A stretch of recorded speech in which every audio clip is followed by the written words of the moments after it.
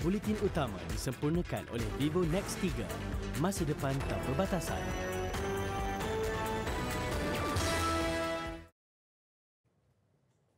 Malaysia akan meneruskan projek Rapid Transit System RTS Link antara Johor Bahru dan Singapura.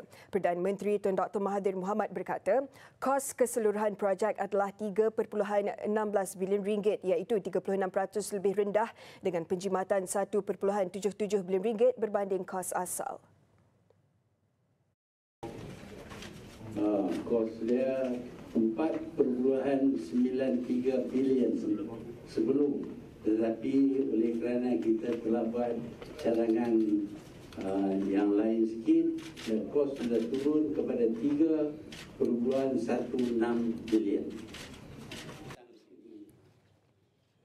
Perdana Menteri berkata projek rel kereta api sejauh 4 km bermula dari Bukit Cagar Johor Bahru ke Woodlands Singapura dijangka dapat menyelesaikan isu kesesakan lalu lintas. Ujarnya butiran projek akan dibincangkan bersama kerajaan Singapura dalam tempoh terdekat. Pada 18 Oktober lalu, Kementerian Pengangkutan mendapat kelulusan Kabinet untuk meneruskan projek laluan RTS. Ia membabitkan perubahan kepada struktur, skop dan spesifikasi projek.